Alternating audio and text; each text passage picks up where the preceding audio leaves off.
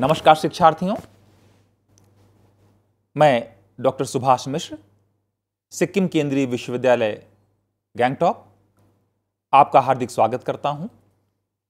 आज हम सहयोगी अधिगम उपागम पर परिचर्चा करेंगे और इस विषय पर परिचर्चा करने के लिए हमारे बीच हैं डॉक्टर आशीष श्रीवास्तव विश्वभारती विश्वविद्यालय शांति निकेतन डॉक्टर साहब सहयोगी अधिगम उपागम भारतीय परिवेश में, शिक्षा व्यवस्था में आज काफ़ी प्रासंगिक महसूस किया जा रहा है। शिक्षा व्यवस्था में जो बुनियादी बदलाव हो रहे हैं, उसमें सहयोगी अधिगम उपागम का भी एक महत्वपूर्ण अंश है, रोल है। आज आपके साथ मैं चाहूँगा कि हमारे शिक्षार्थियों के साथ आप अपने अनुभव साझा करें। इसका ऐतिहासिक परिप्रेक्ष्य क्या है? यह सहकारी अधिगम से किस प्रकार भिन्न है? इसकी मुख्य विशेषताएँ क्या हैं? धन्यवाद, डॉक्टर मिश्रा। सहयोगी अधिगम उपागम पर जब हम बात करते हैं तो हमें इसको इस तरह से समझना चाहिए कि जो हमारे छात्र केंद्रित अधिगम उपागम है छात्र केंद्रित अधिगम उपागमों में सहयोगी अधिगम उपागम और सहकारी अधिगम उपागम, ये अभी हम पिछले कई दो तीन दशकों से इस पर चर्चा कर रहे हैं। और बहुत सारे मनोवैज्ञानिक, बहुत सारे शिक्षा शास्त्री इन दोनों को एक ही मानते हैं। उनका ये मानना है कि जो सहयोगी अधिगम उपागम है, वो सहकारी अधिगम उपागम ही है वो। जैसे हमने, हमें अभी, सहकारी अधिगम उपागम के बारे में हम जानते हैं और सहकारी अधिगम उपागम से पहले भी हम, जो हमारे उपागम है, जैसे हमने कुछ प्रकारों की बात करी थी प्रतियोगी प्रकार, जिसमें छात्र अपने साथी को एक प्रतियोगी के रूप में देखता है। वैयक्तिक प्रकार, जिसमें छात्र अपने साथी की उपेक्षा करता है, उसको इग्नोर करता है और सिर्फ़ अपनी ही लर्निंग अपने ही अधिगम पर ध्यान रखता है। और तीसरा हमने सहकारी प्रकार देखा था, जिसमें हमने समूह में कैसे अधिगम को हम व्यवस्थित करें, इस पर चर्चा की थी। तो मुझे ऐसा लगता है कि सहयोगी अधिगम उपागम एक सामान्य रूप है, एक सामान्य फॉर्म है। और ये बात सच है कि इसके बहुत सारे कंपोनेंट अगर आप बहुत सारे अवयवों को देखेंगे तो सहकारी अधिगम उपागम से इसमें आपको जो सिमिलैरिटी है, समानता है, वो नज़र आएगी। लेकिन जो डिफरेंसेस हैं, उन डिफरेंसेस को भी हम आगे इस पर चर्चा करेंगे। उन डिफरेंसेस पर जाने से पहले सहयोगी अधिगम उपागम की संकल्पना क्या है, इस पर हम बात कर लेते हैं। अगर इसकी संकल्पना की बात करें तो जो सहयोगी अधिगम उपागम है, इसमें दो या दो से अधिक शिक्षार्थी अलग अलग समूहों में कोई निर्दिष्ट कार्य, समस्या समाधान या किसी उत्पाद का निर्माण करते हैं। अगर यहीं से अगर अंतर देखना हम शुरू करें तो जो हमारा सहकारी अधिगम उपागम है, उसमें एक समूह है, उस समूह का अपना एक लक्ष्य है, उस लक्ष्य के साथ साथ समूह के सभी सदस्यों के अपने वैयक्तिक लक्ष्य हैं और वो सारे वैयक्तिक लक्ष्य समूह के लक्ष्यों की प्राप्ति की ओर एफर्ट करते हैं। यहाँ पर दो या दो से अधिक शिक्षार्थियों के ग्रुप हैं और जो समूह है और वो समूह जो है मिल करके निर्दिष्ट कार्य समस्या समाधान या उत्पादकता पर किसी उत्पाद के निर्माण पर काम करते हैं। सहयोगी अधिगम उपागम इस विचार पर आधारित है कि अधिगम एक प्राकृतिक सामाजिक प्रक्रिया है। और अगर हम सहकारी अधिगम उपागम से तुलना करके देखें तो सहकारी अधिगम उपागम में जो भी चर्चा परिचर्चा है, वो सिर्फ़ आमने सामने है। जबकि सहयोगी अधिगम उपागम में ये चर्चा, परिचर्चा आमने सामने भी की जा सकती है और इसे ऑनलाइन भी किया जा सकता है। मैसेज बॉक्स में किया जा सकता है, चैट बॉक्स में किया जा सकता है और कई संस्थानों के अलग अलग समूहों के बीच में भी इसकी व्यवस्था की जा सकती है। तो इस मायने में सहकारी अधिगम उपागम से भिन्न है। आपने जब ये बात कही तो मुझे एक बात समझ में आती है कि इस सहयोगी अधिगम उपागम में साझा करने के ज़्यादा अवसर हैं। जी बिल्कुल सही कह रहे हैं आप। और दूसरी खास बात जो समझ में आती है जैसा कि आपने भी कहा कि जो पहले के जो उपागम थे वो काफ़ी प्रतिद्वंदिता पर आधारित थे बिल्कुल। और प्रतिस्पर्धा पर आधारित थे और कहीं ना कहीं हमारा जो शिक्षा का जो ध्येय जा रहा था वो कहीं ना कहीं अचीवमेंट पर उपलब्धि पर ज़्यादा जा रहा था कि किस तरह से दौड़ करके उस प्रतिस्पर्धा के माध्यम से हम अर्जित कर लें। जबकि अब इस सहयोगी उपागम के माध्यम से छात्र अपने अन्य साथियों के साथ अनुभवों को साझा करके इवॉल्व होने की जो विकसित होने वाली जो बात आती है वो कहीं ना कहीं इसमें हमें दिखाई दे रही है। जो आ, मुझे लगता है जबकि जैसे कि मैंने भी आपसे कहा था कि भारतीय परिवेश में क्योंकि हम देख रहे हैं कि भारतीय परिवेश में शिक्षा में काफ़ी कुछ तक बहुत लंबे समय तक एक दबाव रहा है विद्यार्थियों पर। अर्जन का। और उसमें विद्यार्थी सहयोगी की भांति नहीं बल्कि एक बहुत ज्ञानी व्यक्ति से और कम ज्ञान वाला ग्रहण करना दाता और ग्राही का जो संबंध रहा है। बिल्कुल सही कह रहे हैं जी। तो आ, शायद आ, ये जो सहयोगी अधिगम उपागम है वो आ, एक शिक्षा जगत में एक बदलाव की बयार तो दिखाई ही देता है। बिल्कुल सही कह रहे हैं और आपने बहुत सही बात कही कि जो हमारा, हमारी भारतीय परिवेश में जो शिक्षा, शिक्षण अधिगम प्रक्रिया रही है, उसमें दाता और ग्राही की जो भूमिका रही है तो यहाँ पर जो दाता था, उसकी भूमिका और भी थोड़ी सी सेकेंडरी हो गई है और यहाँ पर जो ग्राही था, अब वो ग्राही ही अपने समुचित जो शिक्षण अधिगम है, उसको वो लीड कर रहा है, आगे बढ़ा रहा है। अगर हम सहयोगी शिक्षण अधिगम की बात करें तो ये जो समूह है, हमारे जो समूह बन रहे हैं, उन समूहों में ये समूह के सदस्य एक दूसरे के स्रोतों पर तथा एक दूसरे के जो कौशल हैं, उन कौशलों का समुचित इस्तेमाल करते हैं। और भी जैसे कि आपने कहा कि प्रतिस्पर्धा रही है, हम प्रतिस्पर्धी रहे हैं। हमने एक, कहीं ना कहीं नकारात्मक फ्रेम में अपने साथी को देखा है। तो उससे ऊपर उठ करके सहयोगी अधिगम उपागम की बात करें तो यहाँ पर समूह के सदस्यों को एक दूसरे के जो स्रोत हैं, एक दूसरे के जो कौशल हैं उनके समुचित इस्तेमाल करने का अवसर अपने अधिगम को परिपक्व बनाने में इसका इस्तेमाल किया जाता है। जी डॉक्टर साहब क्या आपको ऐसा लगता है कि क्या ये विद्यार्थी की प्रकृति से कुछ ज़्यादा मेल खाता हुआ नहीं दिखाई देता? बिल्कुल ये प्रकृति के करीब है उसकी प्रकृति के करीब है और इसी वजह से इस उपागम की जो उपादेयता है इसकी जो विश्वसनीयता है इसका जो आउटपुट ओरिएंटेड प्रदा उन्मुखी जो इसका स्वरूप है वो इसी वजह से इसको जैसे कि आप कह रहे हैं कि बदलाव की बयार दिख रही है इसी वजह से इसको अप्रिशिएट किया जा रहा है इसकी प्रशंसा की जा रही है। आ, क्योंकि विद्यार्थी बचपन में उसकी साझा करने की चाहे वो खिलौना हो बिल्कुल। चाहे चाहे वो सामान हो तो साझा करने की उसकी प्रकृति तो रही बिल्कुल बिल्कुल। और खेल में भी वह अपने समूह में साझा करता है अपने आमोद प्रमोद सब साझा करता है सुख दुख। साझा करता है। तो हमने जो खांचों में बाँध दिया था और जो बहुत ज़्यादा संरचनागत शिक्षा व्यवस्था को ढालने का प्रयास किया था, अब ये सहयोगी अधिगम उपागम हमें शायद यह अवसर दे रहा है कि विद्यार्थी की शक्ति को समझ करके उसका बराबर से कक्षा में उपयोग उपयोग किया जाए, जाए और वह बराबर का भागीदार बन रहा है। बिल्कुल। ऐसा मुझे आपकी बात से नहीं बिल्कुल सही कह रहे हैं आप। और अगर आप इसको देखें सहकारी सहयोगी अधिगम उपागम तो इसमें जो पिछले उपागम था हमारा सहकारी अधिगम उपागम है उसकी संकल्पना आपको काफ़ी हद तक ओवरलैपिंग दिखाई देगी। कुछ मायनों में ये उससे फ़र्क और भी होता है। इसमें जो सबसे बड़ी बात मुझे नज़र आती है वो ये है कि इसमें एक वर्टिकल एक क्षैतिजीय सहभागिता है जो सहकारी में नहीं है। सहकारी अधिगम में ऊर्ध्वाधर सहभागिता होती है।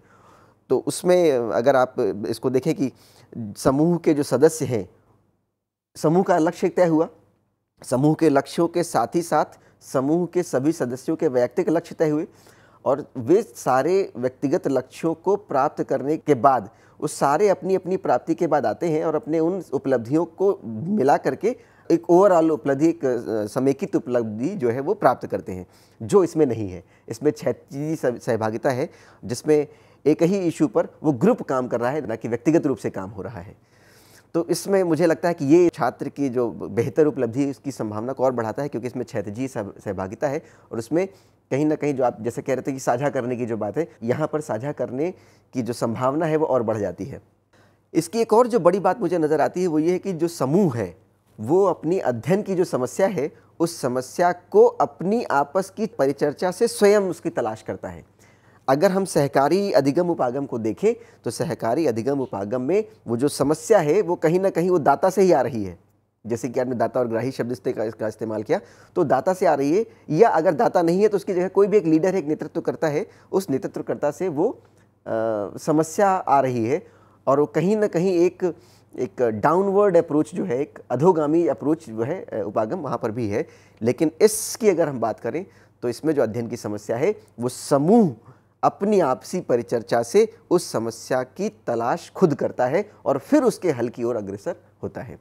जी ये बात समझ में आती है कि कहीं ना कहीं यहाँ पर मिल करके चलने की और सबकी शक्तियों का एक साथ दोहन करने की या यूँ कह लें कि उनको एक चेन के रूप में उनको एक श्रृंखला के रूप में बद्ध करने की संभावना भी दिखाई पड़ती बिल्कुल और शायद इसमें विद्यार्थी अपने अंदर के छिपे हुए टैलेंट को, शक्ति को पहचान करके और अन्य विद्यार्थियों के साथ अपने जो उसके विशेषताएँ हैं, गुण हैं, जो उसकी क्वालिटीज़ हैं, उनको वो आगे बढ़ा सकता है। और इसका एक दूसरा जो पहलू मुझे दिखाई दे रहा है वो ये कि जो अनावश्यक दबाव, जो प्रतिस्पर्धी दबाव बन रहा था सीखने के लिए, अब वह स्वयं उसमें आविष्टित होकर के इन्वॉल्व होकर के उसमें शामिल हो रहा है। तो जो एक सबसे बड़ी समस्या शिक्षा की थी कि विद्यार्थी शुरुआत नहीं कर रहा है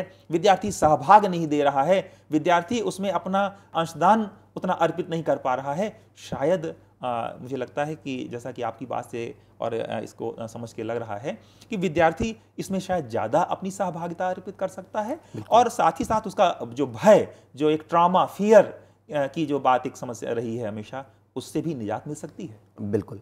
और अगर आप इस सहयोगी अधिगम उपागम को थोड़ा ऐतिहासिक परिप्रेक्ष्य में अगर देखें इसको तो ये बात समझ में आती है कि हमने कहीं ना कहीं देर कर दी यहाँ तक पहुँचने में। अगर ऐतिहासिक परिप्रेक्ष्य में अगर आप देखें इसको तो अमेरिका में डीवी महोदय की अगर हम चर्चा करें तो अधिगम की सामाजिक प्रकृति पर डीवी की खोज, उन्होंने ही शायद ये खोजा था कि जो अधिगम की सामाजिक प्रकृति उसकी खोज जो उन्होंने की थी तथा शिक्षण में परिचर्चा तथा समस्या समाधान पर उनकी वकालत। तो डीवी जो प्रैग्मेटिक प्रयोजनवादी दर्शन के पिता माने जाते हैं, वो भी शिक्षण में परिचर्चा और समस्या समाधान पर के लिए बहुत ज़्यादा उनकी एडवोकेसी हुआ करती, वकालत किया करते थे। इसके अलावा अगर आप उसी समय, उसी दौरान देखें तो एल्विन की सामाजिक पारस्परिकता की संकल्पना भी नज़र आती है, जिसमें वो परस्पर निर्भरता, पारस्परिकता की चर्चा कर रहे हैं, पारस्परिकता पर ज़ोर दे रहे हैं। और अगर उसी समय हम देखें तो डच की सहभागिता और प्रतियोगिता पर जब विचार कर रहे हैं तो ये जो तीनों बिंदु हैं, इन तीनों बिंदुओं को हम सहयोग अधिगम उपागम के बीज स्वरूप समझ सकते हैं। और हाँ ये बात सच है कि इसको हमने इसके वर्तमान रूप में लाने में काफ़ी देर कर दी है, लेकिन अभी भी इसका सदुपयोग करें और इसका समेकित रूप से इसका आगे इस्तेमाल करें तो अभी भी जो है अच्छे परिणामों की उम्मीद की जा सकती है। जी भारत जैसे देश में जहाँ जनसंख्या एक समस्या है संसाधनों की अनुपलब्धता एक बड़ी समस्या है।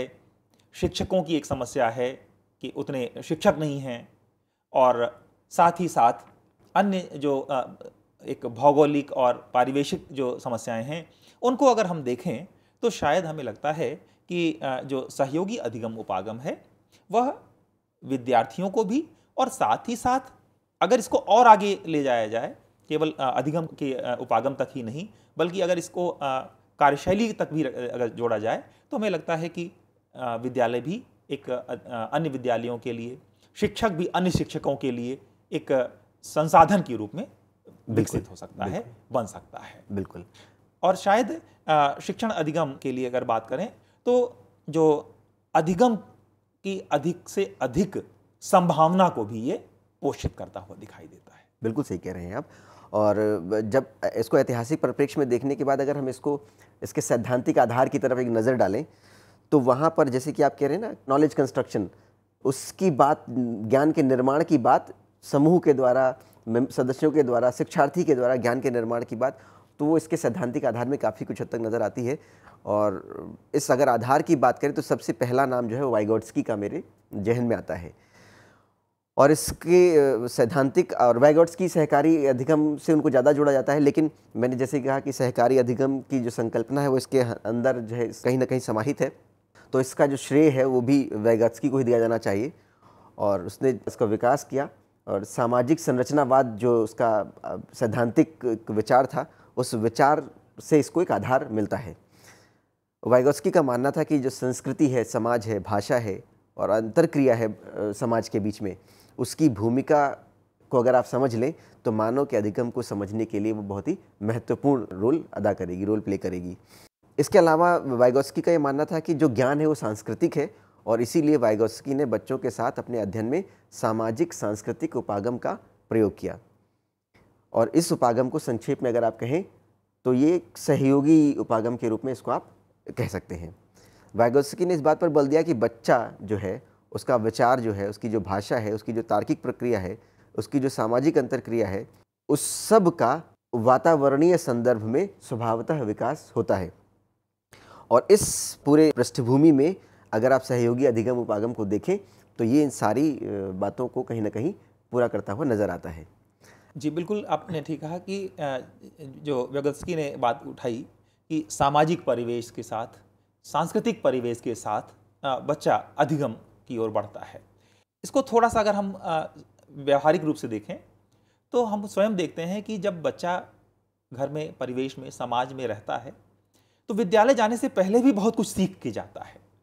माँ से, पिता से, पास पड़ोस से, और वह जो अधिगम है, वह कहीं ना कहीं सहयोगी अधिगम का एक रूप ही दिखाई देता है, जिसमें विद्यार्थी भी समाज से सीखता है, सहयोग करके सीखता है और साथ ही साथ जो उसकी सीखने की जो प्रकृति है, वो भी दिखाई देती है कि वो ऐसा नहीं है कि ज्ञान को केवल ज्ञान के रूप में, बल्कि ज्ञान को समाज में जीवन के अंग के रूप में वो स्वीकार करता है। बिल्कुल सही कह रहे हैं आप और शायद यही कारण है कि जो आपने जो अभी बातें कही, इन्हीं बातों से निकल करके आता है वाइगोत्सकी का जोन ऑफ़ प्रॉक्सिमल डेवलपमेंट जिसको समीपवर्ती सीमा विकास का क्षेत्र भी कहते हैं। उसमें वैगोस्की इसी तरह की बात कर रहा है। वैगोस्की कह रहा है कि किसी भी दिए हुए ज्ञान क्षेत्र में शिक्षार्थी का अपना एक उपलब्धि स्तर होता है। जैसे कि आप कह रहे हैं कि जब बच्चा जिस समाज से आ रहा है, जिस संदर्भ से आ रहा है, जिस वातावरण से आ रहा है तो कुछ ना कुछ अधिगम लेकर के आ रहा है वो। तो वैगोस्की भी कहता है कि किसी भी ज्ञान क्षेत्र में शिक्षार्थी का अपना एक उपलब्धि स्तर होता है और उस उपलब्धि स्तर को आप माप सकते हैं, उसको मापा जा सकता है। और फिर वो कहता है कि उसी क्षेत्र में विकास हेतु उनमें एक प्रकार की तत्काल क्षमता भी होती है और इन्हीं दोनों के बीच जो अंतर है, किसका? जो उपलब्धि है उनकी, जिसको आप माप रहे हैं, और वो क्षमता जिससे आगे के जो आने वाले संभावनाएँ उनको प्राप्त कर सकता है, इन दोनों के बीच जो अंतर है उसको समीपवर्ती विकास का क्षेत्र कहा गया है। और शायद इसीलिए वो कह रहे हैं कि समीपवर्ती विकास का जो वो क्षेत्र है, उसकी उच्च सीमा को शिक्षक तथा अपने साथियों के साथ चर्चा परिचर्चा द्वारा आसानी से प्राप्त किया जा सकता है। और इसीलिए सहयोगी शिक्षण उपागम जो है वो इस बात को प्राप्त करने के लिए सबसे मुफीद जो है वो उपागम नज़र आता है। आपको शिक्षण व्यवस्था में इसके क्या लाभ दिखाई देते हैं? इसका क्या भविष्य दिखाई देता है? भविष्य पर चर्चा करने से पहले मुझे लगता है इसकी कुछ विशेषताएँ हैं।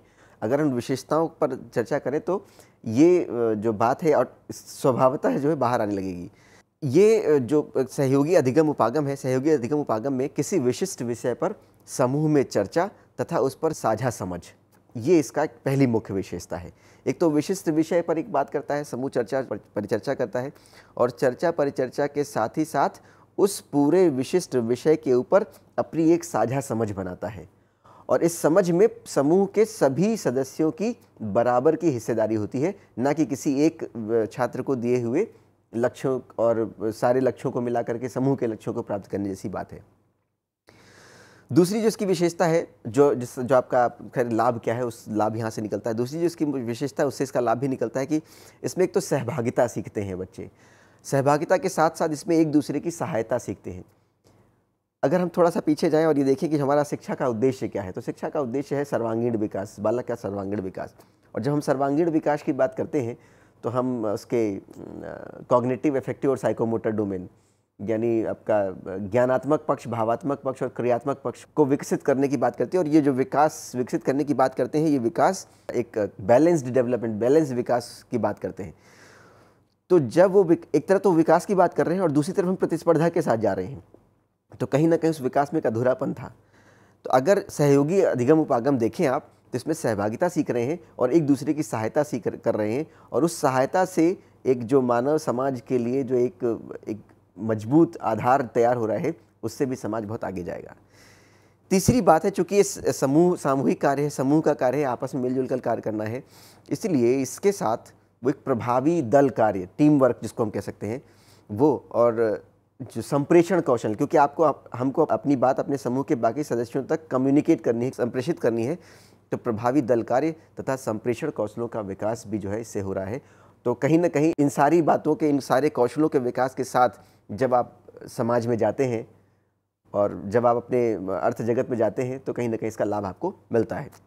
इसका जो नेक्स्ट अगला जो बिंदु है, वो बहुत ही महत्वपूर्ण है। इसमें सबसे बड़ी बात है चूँकि ये समूह इसको निर्देशित कर रहा है, समूह ही इसको नियंत्रित कर रहा है, समूह ही इसको अग्रेसित कर रहा है, इसलिए इसमें गहन ज्ञान, क्योंकि समूह ही है और उसको ही खोज के लाना है सब। तो गहन ज्ञान और गहन ज्ञान के साथ साथ आज की डेट में जिस बात की सबसे ज़्यादा कमी हो रही टॉलरेंस की तो गहन ज्ञान के साथ साथ एक समालोचनात्मक दृष्टिकोण के विकास की भी संभावना यहाँ होती है। और जो समालोचनात्मक दृष्टिकोण और ये गहन ज्ञान है, इसके साथ साथ एक तीसरी बात भी इसी में जुड़ी हुई है, वो ये है कि जब ग्रुप अपने बहुत सारे विचार देता है तो उन बहुत सारे आए हुए विचारों का आत्मसातीकरण, आत्मसात करना उसको और आत्मसात करके फिर उस गहन ज्ञान तक पहुँचना और उस गहन ज्ञान तक पहुँचने की प्रोसेस में, प्रक्रिया में एक समालोचनात्मक दृष्टिकोण का विकास होना, ये इसकी बहुत बड़ी विशेषता है। और अगली इसकी विशेषता की अगर बात करें तो समूह के प्रति वैयक्तिक जवाबदेही सुनिश्चित करना। निश्चित रूप से यहाँ पर सहकारी अधिगम उपागम की तरह वैयक्तिक लक्ष्य निर्धारित नहीं किए गए हैं, लेकिन समूह का तो लक्ष्य है। और उस समूह के लक्ष्य को अगर प्राप्त करना है तो समूह समूह के सभी सदस्यों को अपना अपना योगदान करना होगा, और इसीलिए यहाँ पर वैयक्तिक जवाबदेही सुनिश्चित की जाती है। और अगला जो बिंदु मुझे नज़र आता है वो ये कहते हैं कि शिक्षार्थियों को सशक्त बनाता है ये। और सशक्त बनाने का कारण जो मुझे लगता है वो यही लगता है कि यहाँ पर पूरा नियंत्रण जो है वो आपके हाथ में है पूरा नेतृत्व आपके हाथ में है पूरा उसका जो संग, संगठन है वो आपके हाथ में है। और इस वजह से आप उस लक्ष्य के परिप्रेक्ष्य में ज्ञान की उस गहराई तक जाते हैं जहाँ शायद वो दाता और ग्राही की परंपरा में संभव नहीं होता है। इसके अलावा कुछ और भी इसकी विशेषताएँ हैं जिससे इसके लाभ निकल करके आते हैं। उसमें यह है कि चूँकि एक समूह नियंत्रित है, समूह इसको नियंत्रित कर रहा है, इसलिए यहाँ पर और समूह नियंत्रित कर रहा है, लेकिन सदस्य उसके जो है वो स्वतंत्र हैं। तो इस स्वतंत्रता के कारण अधिगम की रणनीतियों का विकास करने की जो स्वतंत्रता है, वो समूह के सदस्यों को होती है। इसलिए स्वतंत्र अधिगम रणनीतियों के विकास की संभावनाएँ यहाँ होती हैं, जो उसका मुझे महत्वपूर्ण बिंदु नज़र आता है। एक और बात है जो हमने सहकारी अधिगम उपागम में देखा था कि वहाँ पर हम आमने सामने बैठे हैं। एक सभी लोग एक सब, एक जगह पर उपस्थित है वहीं पर चर्चा परिचर्चा कर रहे हैं। लेकिन ये जो है उसकी उस सीमा से और भी बाहर निकल जाता है और कहता है कि कक्षा के बाहर अधिगम का कि संरचनाकरण का एक संरचनीकरण जो है वो किया जा सकता है। इसके अलावा ये समूह में जो शिक्षार्थी जो एक तमाम नॉर्मल तरह के समूह कक्षा में लीजिए अगर हम बात करें जहाँ पर दाता ग्राही की बात है वहाँ पर ज़रूरी नहीं कि सारे शिक्षार्थी आपके एक साथ एक समय पर अटेंटिव हों और बात सुने। हो तो हाँ हो सकते हैं बहुत सारे शिक्षार्थी ऐसे हो सकते हैं जो आपकी शिक्षा शिक्षण अधिगम प्रक्रिया से के बाहर हों। जी। शारीरिक रूप से तो वहाँ पर हों लेकिन मानसिक रूप से वो बाहर हों। मुझे इसी बात पर याद आता है कि जो भारतीय परिस्थितियों में बहुवर्गीय शिक्षण एक अपने आप में चुनौती है। जी। ये एक वस्तुस्थिति है जिसे स्वीकार करना पड़ेगा कि एक ही शिक्षक कई कक्षाओं का शिक्षण कर रहा है या दो शिक्षक शिक्षक मिलकर के पूरी कक्षाओं का शिक्षण कर रहे हैं तो बहुवर्गीय शिक्षण में ऐसी स्थिति में बहुवर्गीय शिक्षण में कई कक्षाओं को एक साथ एक या दो शिक्षक संचालित कर रहे हैं। तो ऐसी स्थिति में विद्यार्थी आपस में सहयोग करके एक दूसरे का जी। और जो उनमें से जो विद्यार्थी ज़्यादा उनके अंदर प्रतिभा है या ये कह लें कि अच्छे हैं उनका समूहीकरण करके और जो पीछे हैं उनको भी उसमें शामिल करके एक सहयोगी भावना के साथ सहयोगी उपागम के साथ शायद बहुवर्गीय शिक्षण में इसका और भी ज़्यादा उपयोग किया जा सकता है। न सिर्फ़ उपयोग किया सकता है डॉक्टर साहब बल्कि समूह में जो शिक्षार्थी का जो अलगाव है उस अलगाव को समाप्त किया सकता है क्योंकि उसमें फिर वो उसको जब समूह बना देंगे आपको और सहयोगी सहयोगिता करनी है तो वो कहीं ना कहीं अपना एक अपनी प्रतिभागिता जो है वो करने लगेगा। तो वो शिक्षार्थी जो एक सामान्य कक्षा में अलगाव की स्थिति में चला जाता है, उसकी स्थिति को भी ये समाप्त करता है। इसके अलावा ये समूह द्वारा निर्देशित सहयोगी जो अधिगम उपागम है समूह द्वारा निर्देशित होता है। और इसकी एक और जो सबसे बड़ी बात मुझे नज़र आती है, वो ये है कि एक समय पर अलग अलग संस्थानों के समूहों के साथ भी सहयोग संभव है। आज हम टेक्नोलॉजी के, तकनीकी के युग में जी रहे हैं तो एक साथ अलग अलग संस्थानों के साथ एक ही विषय विशेष पर समूहों के साथ सहयोग संभव है और ये जो संभावना है, ये आपकी उस गहरी समझ को और भी ताकत प्रदान करती है। एक और इसकी जो विशेषता मुझे नज़र आती है, वो ये है कि सहयोगी अधिगम जो है, वो गुणात्मक है। गुणात्मक मैं इसलिए कह रहा हूँ क्योंकि ये शिक्षार्थी का जो उपलब्धि है, उस पर इसका ज़ोर थोड़ा कम है, बल्कि ये शिक्षार्थी की जो परिचर्चा हो रही है, उसका विश्लेषण करता है, ना कि उनकी उपलब्धि का। तो चूँकि परिचर्चा का विश्लेषण हो रहा है इसलिए इस मुझे लगता है कि जो सहयोगी अधिगम उपागम है ये गुणात्मक है। हाँ उसकी वैयक्तिक उपलब्धि की बजाय सामूहिक उपलब्धि की ओर ले जाता है। सामूहिक उपलब्धि की जाँच करता है या ये कह लें कि सामूहिक उपलब्धि को प्रोत्साहित करता है। बिल्कुल। आ, बहुत अच्छी परिचर्चा रही। अभी इसके साथ ही साथ अगर ये इसको देखें कि सहकारी अधिगम से अगर भिन्नता कैसे है इसकी सहकारी अधिगम से भिन्नता देखें तो सरसरी निगाह से हम ये देख सकते हैं कि जो सहकारी अधिगम है, वहाँ पर समूह के लक्ष्यों के साथ साथ व्यक्तिक लक्ष्यों पर भी बल है, जबकि सहयोगी जो अधिगम है, उसमें समूह के लक्ष्यों पर ही बल है। सहकारी अधिगम में अधिगम का निर्माण व्यक्ति द्वारा है, जबकि यहाँ सहयोगी अधिगम में अधिगम का निर्माण साझा है, उद्विकासी है और चुनौतीपूर्ण है। यहाँ बार बार चुनौती मिल रही है आपको आपके समूह के सदस्यों के साथ साथ इसके अलावा सहकारी अधिगम में जो प्रक्रिया है, वो बहुत ही साफ़ है और पूर्व परिभाषित है। लेकिन सहयोगी अधिगम में जो प्रक्रिया है, वो समूह की अनुक्रियाओं पर आधारित है और उससे वो लीड होकर के आगे चलती है। इसके अलावा अगर एक और बात देखें तो सहकारी अधिगम में पूर्व निर्धारित भूमिकाएँ हैं, जबकि जो सहयोगी अधिगम में यहाँ पर साझा और तय की गई भूमिकाएँ हैं। वो भूमिकाएँ जो समूह के सदस्यों ने आपस में तय की हैं, वो भूमिकाएँ इसमें नज़र आती हैं। अगर इसको आगे देखें तो सहकारी अधिगम में नेतृत्वकर्ता की भूमिका महत्वपूर्ण रही है। लेकिन सहयोगी अधिगम में समूह के साझा अनुभव जो है वो महत्वपूर्ण रहे हैं। यहाँ नेतृत्वकर्ता की जो भूमिका है वो ज़्यादा नहीं है, बल्कि जो अनुभव है वो महत्वपूर्ण है। सहयोगी अधिगम में विविधतापूर्ण समझ को प्रोत्साहन देने की बात है। इसके अलावा सहयोगी अधिगम में अगर आप देखें तो सक्रिय, संबद्ध तथा खोजपूर्ण वातावरण का निर्माण कहता है, जो कि सहकारी अधिगम या और किसी प्रकार के उपागम में आपको देखने को नहीं मिलता है। अगर सहयोगी शिक्षण उपागम के हम लाभों की बात करें तो इसके लाभों को अगर हम देखें तो इसमें एक तो सबसे जो पहला लाभ है वो ये है कि विविधता को स्वीकार करता है। जो बहुत सारी विविधताएँ हैं, क्योंकि यहाँ पर समूह के सदस्य ही अपनी समस्या को पहचान रहे हैं, उन समस्याओं पर काम कर रहे हैं, गहरी समझ बना रहे हैं तो इसमें सारी जो विविधता है, उनको स्वीकार करना होता है। दूसरी जो बड़ा एक लाभ नज़र आता है, उसमें वैयक्तिक जो भिन्नताएँ हैं इंडिविजुअल डिफरेंसेस हैं, उनके लिए भी एक जगह है, उनके लिए भी एक स्पेस है, उनको भी स्वीकार किया जाता है। और आगे बढ़कर देखिए अंतर्वैयक्तिक विकास। समूह के सदस्य चूँकि एक दूसरे से डील कर रहे हैं, एक दूसरे से बात कर रहे हैं तो एक दूसरे के लिए परस्पर जो समझ बन रही है, उससे अंतर्वैयक्तिक विकास की भी संभावना यहाँ पर नज़र आती है। और शिक्षार्थी का अधिगम में उसकी अपनी सक्रिय भूमिका है, जो कि शायद बाकी उपागमों में आपको देखने को नहीं मिलती है। और जो इसका आखिरी लाभ मैं कह सकता हूँ ऐसे कि व्यक्तिगत प्रतिपुष्टि के लिए अधिक अवसर है यहाँ पर। आपको पर्सनल फीडबैक के लिए बहुत सारी अवसर यहाँ पर उपस्थित हैं। धन्यवाद डॉक्टर साहब। बहुत अच्छी परिचर्चा रही। आज आपने सहयोगी अधिगम उपागम, उसकी ऐतिहासिक पृष्ठभूमि, सहकारी अधिगम से उसकी भिन्नता, मुख्य विशेषताओं और लाभों पर परिचर्चा की। आशा है हमारे शिक्षार्थी आज की परिचर्चा से लाभान्वित होंगे। धन्यवाद।